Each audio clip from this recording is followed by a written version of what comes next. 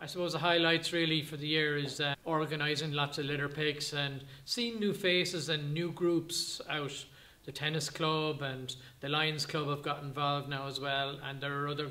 groups coming on board. And uh, every so often we get some of the children out as well, which is very important. The meeting tonight, because I haven't been at a Tidy Towns meeting before, but I will say one thing, I suppose most people take it for granted that the streets always look lovely in Ballinasloe. But what was very surprising to me tonight was the amount of people in the community that get involved and get out there on Saturdays and every other evenings or days. It was also great to see the, the, amount of emphasis that was put on biodiversity, which I would support a lot in some of the projects that I do myself. But there still needs to be more done, and I think everybody can do their little bit, um, getting into the habit of maybe picking up as they go on a walk,